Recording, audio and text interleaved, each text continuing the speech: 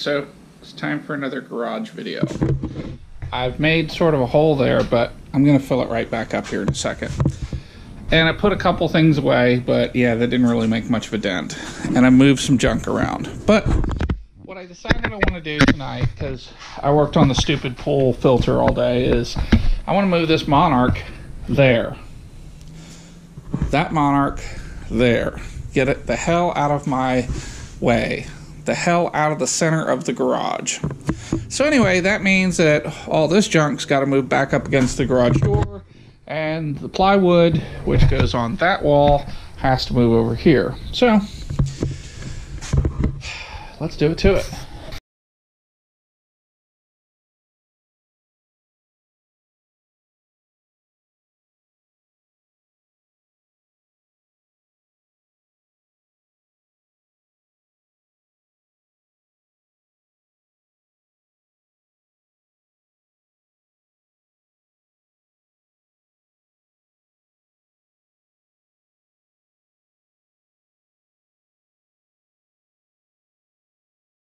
All right, so it's time for another garage video.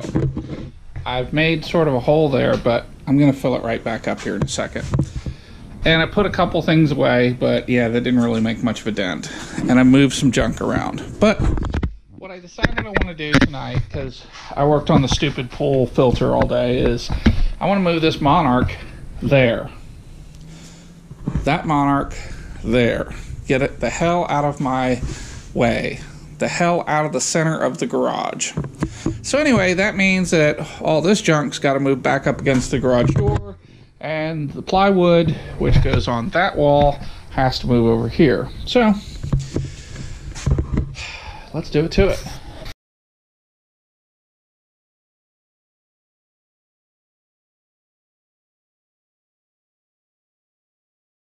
Okay, so those two things you watched me wrestle across the, the floor.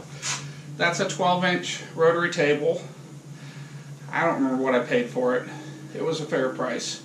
I want to say a couple hundred bucks. And I bought it from the guy I bought the mill from. Real nice, real, real nice machinist and engineer. And he gave me the tool post grinder that goes with this lathe. I have no idea what the hell I'll ever do with the tool post grinder but having the one that goes with this lathe makes me really happy. And uh, we just don't make machines like this anymore. I'm not even sure if we can. I think we've lost the ability to make these kind of machines. Anyway, let's go back to time lapse.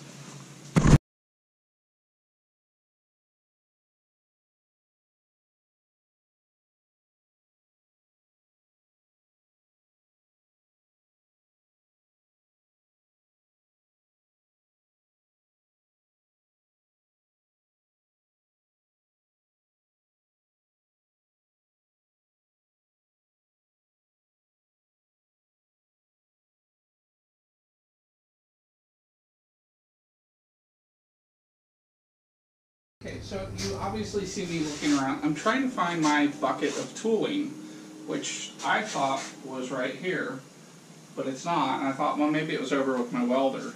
So I'm still looking for it, but I'm going to kind of clean up the garage as I go. And um,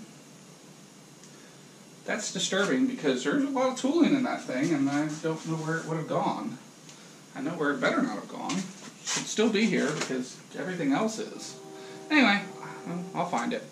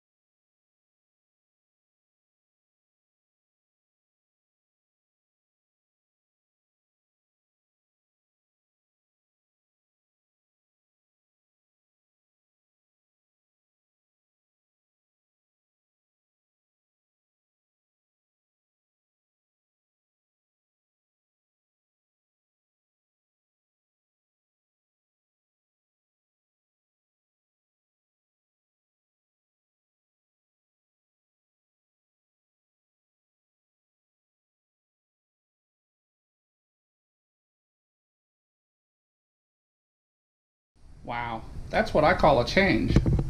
So, I got the lathe in its uh, installation point, and I got a bunch of junk shuffled around, a little bit of it reorganized. And in case you're wondering why I'm using a pallet jack to move this table, there is a steady rest and a 12 inch chuck and a mill vise under this table. And all that weighs just a little bit. So, anyway, uh, I think that's it for tonight. I'm going to turn the heat down. And uh, tomorrow I'm going to work on this section of the wall and see if I can't wrap this corner of the garage. I don't have high hopes for that word, but we'll just see where we go. Being done is not one of my strong suits, if you haven't figured that out by now.